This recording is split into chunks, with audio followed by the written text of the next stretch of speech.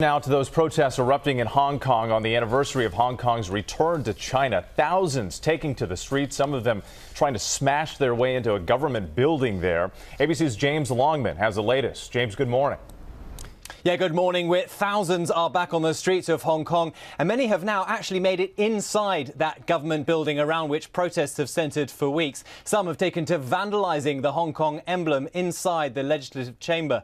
This is the third major march against an extradition bill, which would send those wanted by Beijing over to the mainland. It's already been suspended, but activists want it gone entirely, and they're calling for China-backed Hong Kong leader Carrie Lam to resign as the US seeks to redefine its trade relationship with China, Donald Trump has held back from voicing explicit support for the movement. But given that today is also the 22nd anniversary of Britain's return of Hong Kong back to the Chinese, that's a symbolism not lost on the demonstrators. Many feel this is part of Beijing's long-time efforts at dismantling the freedoms the British system was meant to enshrine. Robin?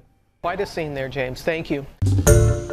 Hi, everyone. George Stephanopoulos here. Thanks for checking out the ABC News YouTube channel. If you'd like to get more videos, show highlights, and watch live event coverage, click on the right over here to subscribe to our channel. And don't forget to download the ABC News app for breaking news alerts. Thanks for watching.